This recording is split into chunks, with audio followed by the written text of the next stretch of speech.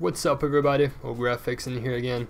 In this video I'm gonna show you the process of building up an image like this. The goal here is not to teach every single step, but instead give an overall view of the workflow. I'll be soon making more beginner tutorials and I'm also planning on making a post-production course with a couple of hours of content. There I'll be able to teach every single step to get to this type of image. So this image from this house took roughly one hour and a half to make it in Photoshop and it doesn't make sense to post such a long video on YouTube. That's why I always speed them up. But if you guys need, there's an option on YouTube's player to slow down the video. Well, unfortunately, for some reason, the video recorded didn't get my cursor, but I hope the video is enjoyable anyways.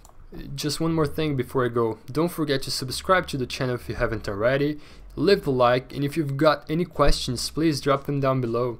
I'm also answering everyone's questions not only here but in our Instagram page as well, so be sure to follow us there at o.graphics. If you want to support the channel or get the PSD and the base files for more tutorials, there will be a link in the video description. Thank you, I hope you enjoyed the video.